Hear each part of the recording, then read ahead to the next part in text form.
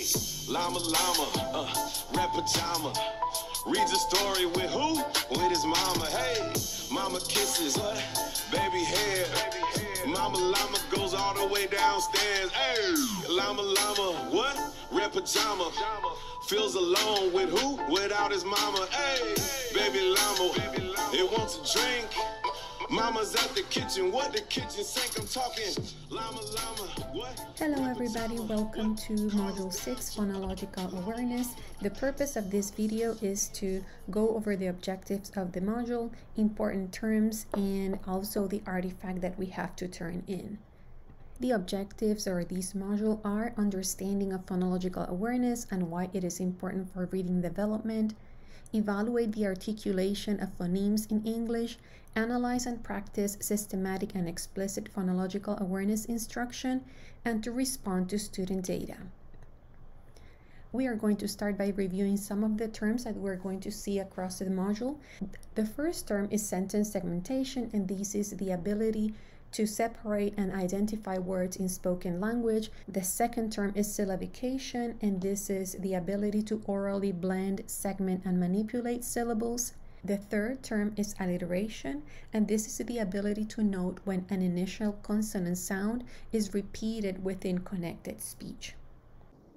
The fifth term is rhyming, and rhyming is the ability to perceive words that have same or similar ending sounds, identification of the sound, and also production of the sound. Onset and rime is the initial consonant, the vowel sound, and the rest of the letters that follow in a syllable.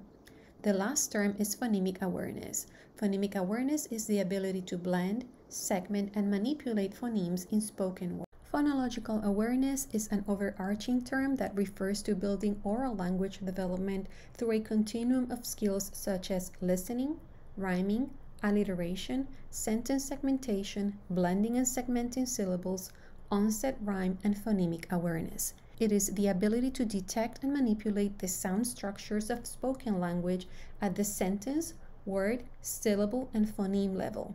It is also a prerequisite for decoding and encoding. Phonological awareness is one of the best predictors of future reading success. When students can detect speech sounds in words, they can begin the process of mapping sounds to letters, making decoding and encoding possible. Students who show poor phonological awareness skills at the end of kindergarten are more likely to have difficulty learning to read than those that have well developed phonological awareness skills. Phonemic awareness facilitates children's understanding that sounds in spoken words can be represented by letters in print.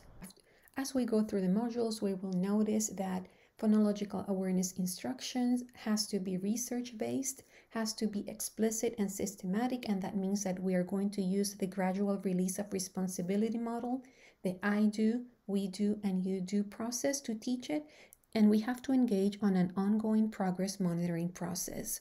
This will guarantee we're using the science of teaching reading as a baseline to teach phonological awareness.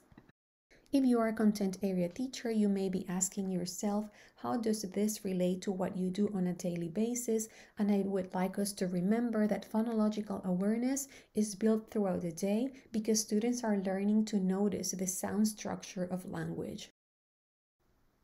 We have a couple of items in the housekeeping section. Number one, please read the announcements as they are going to give you some guidance on the pace of the course. Work with and consult teams when you go through the modules. When we work together, it makes going through the modules easier and smoother.